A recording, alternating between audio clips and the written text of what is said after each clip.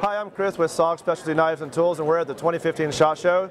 And I have some of our new product for 2015 geared towards outdoor survival, SOG Survival Hawk.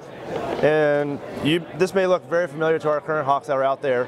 What we've done with this one is geared a little bit towards survival situations. We've got a full-length cutting head here, and also what we've done is it's a full length steel construction. Our other ones have a little short half tang and it's a full, the other ones have a full solid molded handle. With this one we've done, it's a, we've got handle slabs on a full tang construction. And what that, allow, that allows us to do something that I'll get to in a second here. We've also got seven to eight feet of paracord, I forget the exact length, somewhere in there. Um, got the full length cutting head as I mentioned earlier. And then here we've got, redid the uh, spike end and you can use this as a uh, pry bar or like break chain link fence, stick it on there, twist it, use that. we we tested in the back behind the office on the fence.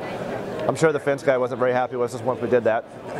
Um, so like I said, we've got the full length thing, and so what that does is allows the handle to be very secure and very strong, but you've got this little D-ring right here, it unscrews, and you've got a, you've got a fire steel in the handle right here.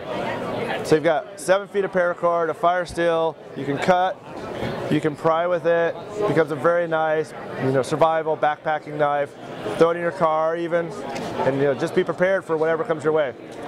Uh, MSRP on this is $64, and like all of our new products this year will be available in four to six weeks, and we've got up on our website right now.